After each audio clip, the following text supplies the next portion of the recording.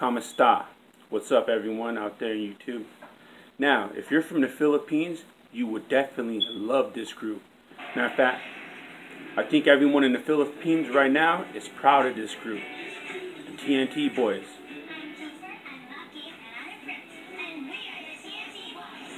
Now, Keifer, he's the one with the ponytail.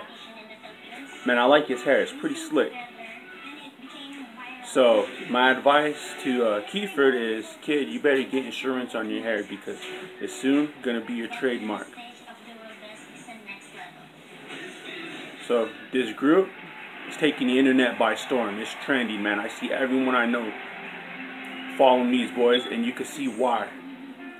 You can see how they, you know, start off real soft, but they know how to carry a note. Each one of them is talented, and they hit them high notes.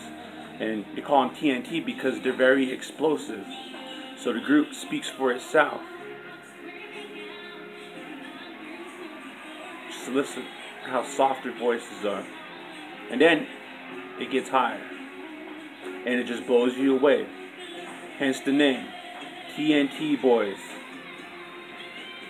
Okay, yeah, they know how to carry a tune.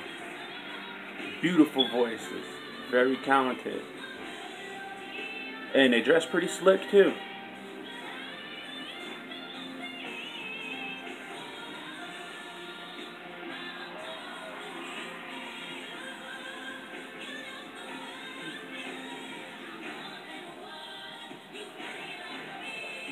Yep, these guys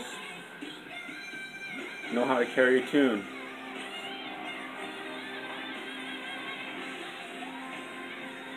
So yeah, I think everyone in the Philippines is definitely proud of this group. And why wouldn't they be? These kids are talented and it all speaks for itself.